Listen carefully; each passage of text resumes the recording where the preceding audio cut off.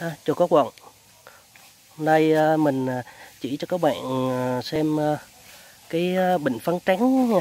Bệnh phấn trắng này thì nhiều bạn vẫn chưa biết được cái, cái phấn trắng nó như thế nào cái bệnh nó như thế nào. Bệnh này thì rất là dễ. Đây các bạn nhìn xem.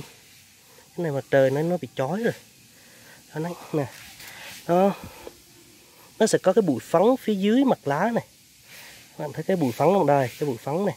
Thì cái này mà nó nó khô này cái bụi phấn này các bạn nhìn thấy này bụi phấn này.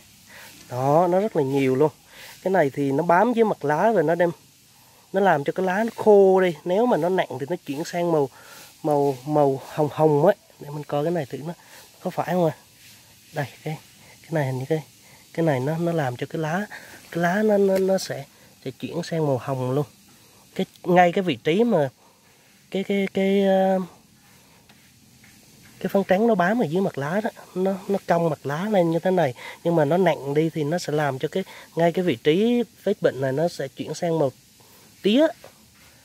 Màu tía xong chuyển sang màu nâu đen ha. thì à, cái bệnh này thì chủ yếu là vào mùa mưa á, nó nó sẽ bị do cái cái à, ẩm độ nó cao. Cái lúng ở đây vườn mình thì cái lúng này thì nó nó gần cái hồ nước này này tại nó gần cái hồ nước thì ban đêm nước nó hơi nước nó nó nó bay lên nó gió nó sẽ bay vào trong này thì cái cái lún này thì nó sẽ bị nặng nặng nhất.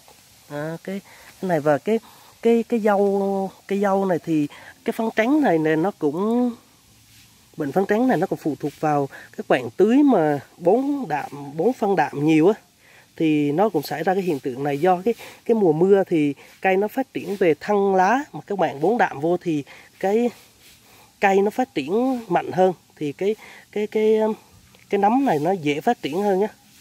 À, rồi bạn nhìn này, lá nó nó cong nó mo hết lên như thế này luôn. À. dâu này là dâu uh, Canada. À, Canada dâu này rất là đẹp.